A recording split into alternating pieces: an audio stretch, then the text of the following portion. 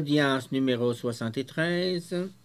La virginité ou célibat pour le royaume des cieux. Lorsqu'on ressuscite d'entre les morts, on ne prend ni femme ni mari. Marc 12, 25. Il existe donc une condition de vie sans mariage où la personne humaine, homme et femme, trouve en même temps la plénitude de la donation personnelle et de la communion intersubjective des personnes grâce à la glorification de tout son être dans l'union éternelle avec Dieu.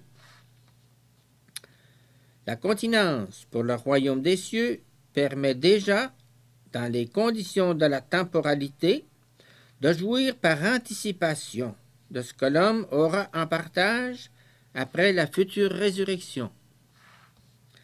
Les disciples dirent, Si telle est la condition de l'homme envers la femme, il n'est pas expédient de se marier.